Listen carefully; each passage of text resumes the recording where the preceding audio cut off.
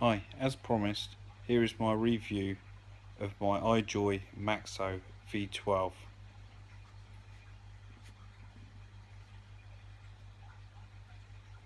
It's a great looking tank, but the only downside is the V12 coils are completely rubbish. They lasted just over a day if I if I was lucky it also comes in the box. It's a C3 coil which is only three coils.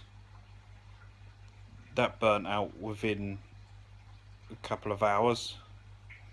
The only reliable coils for it are the Limitless XL quad coils.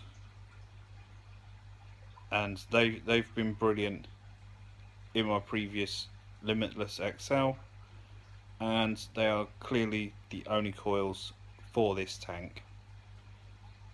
So as a matter of fact if you don't want to spend the money on a Maxo V12 just buy yourself a Limitless XL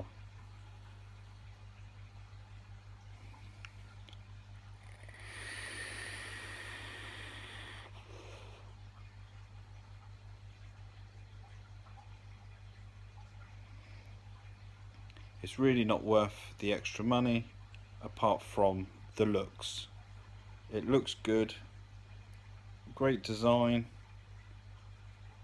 Coils light up really well. But other than that it's a limitless XL thanks for watching